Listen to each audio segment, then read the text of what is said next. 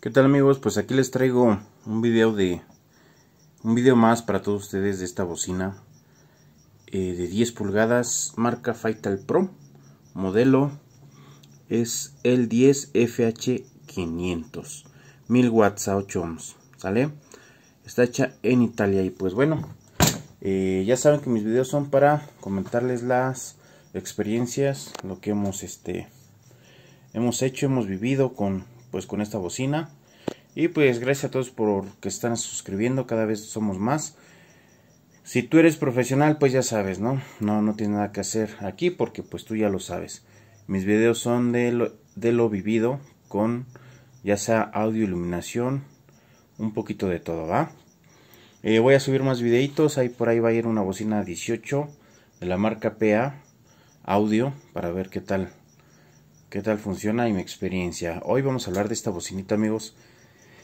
Es una marca Fatal Pro, es 10 pulgadas de neodimio, ¿sale? Eh, yo no había trabajado con las bocinas de neodimio. Recuerdan que yo trabajo lo que es, si han visto mis demás videos, trabajo con lo que es la Eminence y la Pro para medios de 12 pulgadas. Esta es de 10 pulgaditas, tiene ya un ratito que las conseguí.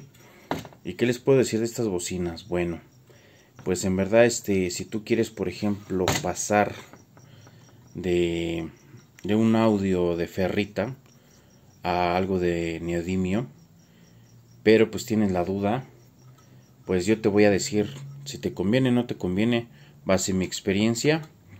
Estas bocinas están muy, muy bien hechas, están muy bien fabricadas. Eh, la verdad que pues esta ya la reparé. Ya las reparé. Eh, pero pues oye oyen bastante bien. Pero pues ya saben vamos a hablar con la sinceridad del mundo porque de eso se tratan mis videos sale hablar con la verdad.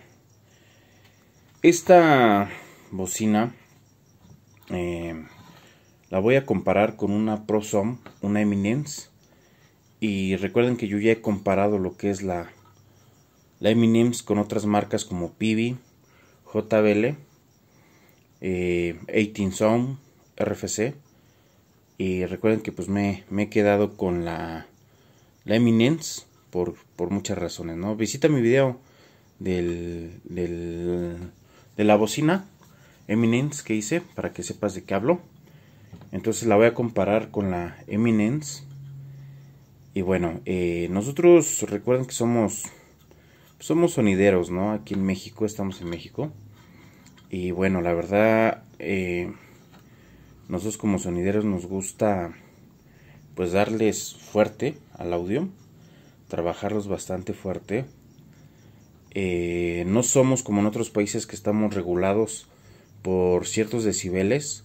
Si tú te pasas por ciertos decibeles, te pueden clausurar tu fiesta, ¿no? O sea, eh, entonces trabajan a unos niveles muy bajos y nosotros la verdad que trabajamos a niveles muy fuertes y mientras más fuerte mejor.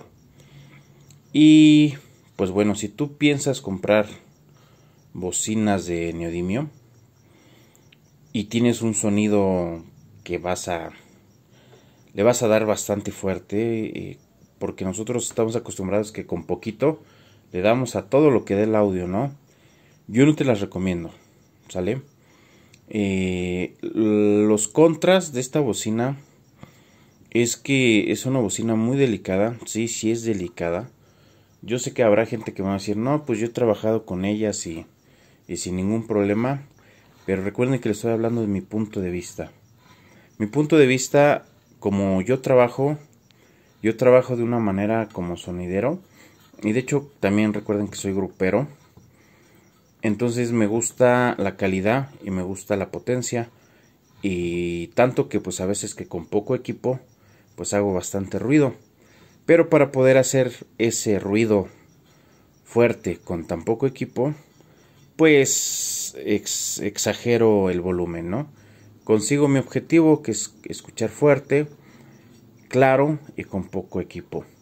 Tanto que pues muchos compañeros se sorprenden, ¿no? A veces del poco equipo que pongo y cómo se escucha, ¿no? Y pues así somos la, mayoría de sonideros. Eh, entonces este video pues estas bocinitas pues no son para nosotros amigos. Los contras como les comento es que son muy delicadas en cuestión de que estas bocinas sí se calientan mucho más que las de ferrita. Las de ferrita sí se calientan pero un qué te puedo decir eh, tibiecita tibiecita no casi pues casi fría la verdad después de haberla sonado un buen rato y estas de neodimio sí se calientan bastante, bastante, bastante. Y yo la verdad las voy a catalogar de esta manera. Las de neodimio simplemente son para, para otros países donde trabajan regulado los decibeles, que trabajan a un cierto nivel tranquilos y sin ningún problema, tienen bastante calidad.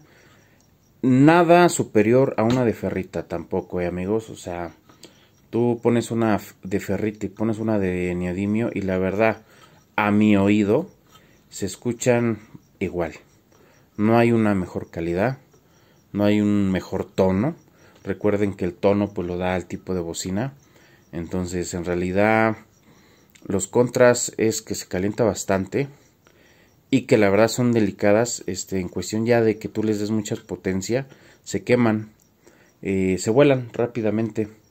Estas, como les digo, yo ya las reparé, ya están reparadas. Están muy bien para cierto nivel, cierta potencia.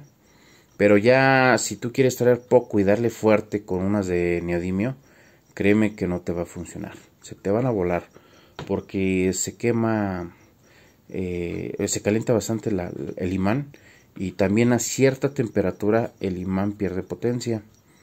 Y pues obviamente si el imán pierde potencia, pues la bocina como tal pierde potencia, ¿no? Porque pues el magnetismo ya es menor y la bocina pues se va a escuchar menos. Entonces no la recomiendo para nuestros proyectos como sonideros. Eh, la, única ventaja que yo podría ver es que no pesan. Eso es un hecho, ¿no? Que no pesan. Pero de ahí en fuera amigos, mm, yo como les digo, va a haber varios puntos de vista no, que sí que no las sabes trabajar, que por eso las volaste, que eh, X situaciones. Como yo les repito con las Eminems, tengo como 15 años trabajándolas, 20, y ni una he reparado, ninguna he reparado en verdad.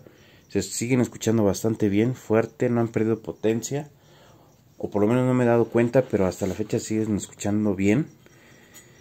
Y con estas, pues sí, las, las tenía originales y las compré para darme un gustito, porque ¿cuál es el gustito que les comento? Son bastante caras. Es una bocina que me costaron bastante elevados, lo doble que una de ferrita, un poquito más de lo doble. Y pues la decepción fue esa, amigos, que pues terminaron volándose. Tengo cuatro de estas y terminaron volándose. Entonces, para lo que lo usamos, amigos, no se las recomiendo. Ahora, si tú vas a meter bastante equipo, eh, porque recuerden que mientras más cantidad, pues tu equipo va a trabajar más relajado y con menos potencia, pues igual si te conviene, ¿no? Si tú vas a manejar, por ejemplo, unos 6 lineales dobles por lado, unos 6 medios doble por lado, unos 12 en total, y pues sí, sí te los recomiendo porque con menos potencia vas a escuchar eh, menos potencia que les des a las bocinas se va a escuchar más fuerte por la cantidad de bocinas. Pero si tú quieres usar un bafle por lado, ¿no? Por así decirlo, eh, con este tipo de bocinas, si quieres que se escuche en un evento de, de unas 150 personas, 200, definitivamente eh, se van a volar. ¿Por qué hago esa comparación? Porque recuerden que yo les he comentado que traigo unos baffles con una sola bocina de la Eminence con un driver PA Audio 750 y este me han funcionado para 150 200 gentes bastante fuerte y bien y sin problema estas las trabajé así eh, lo peor es que las trabajé el baffle era doble traía dos de estas con un PA audio un driver por lado y se me volaron les comento traigo cuatro usaba dos por lado dos bocinas por lado con un driver, cada cajoncito. Y con el otro equipo usaba un, una sola bocina con un driver por lado. Y o sea, era más equipo, eran dos bocinas por lado de estas contra una de Eminence y pues se me volaron. Y la, como les digo, las Eminence ahí siguen. Entonces, ¿qué sucedió? Pues que prácticamente no aguantan, no aguantan la potencia eh, como tal. O sea, dejan de aguantar la potencia porque se calientan, amigos. Entonces, no, miren, recuerden que esto es un video para platicar sobre mi experiencia.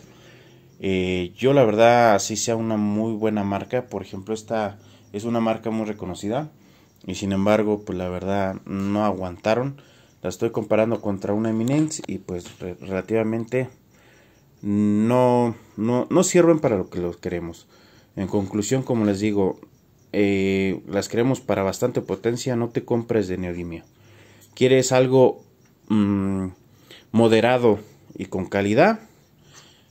Pues ya sea ferrita o sea esta puedes usar porque como les digo la ferrita eh, también da muy buena calidad.